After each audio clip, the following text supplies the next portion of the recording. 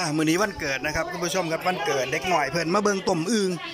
นี่นะครับต้มอึ่งนะครับคุณผู้ชมครับอ่า